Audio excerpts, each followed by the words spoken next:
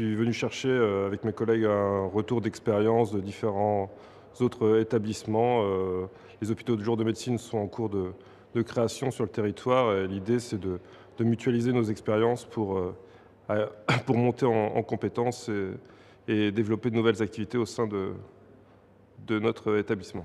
Donc un cercle pour moi c'est un laboratoire d'idées c'est un lieu d'échange où on peut mutualiser nos expériences afin de euh, tirer bénéfice de l'expérience de chacun et rapporter euh, euh, des idées pour développer de nouvelles activités au sein, de, au sein de mon service. J'ai déjà bénéficié d'une première expérience dans le cadre de ce cercle. Le deuxième est déjà prometteur. on aborde plus le versant territorial des hôpitaux de jour et la coordination qu'on peut envisager entre ces différents hôpitaux de jour de médecine.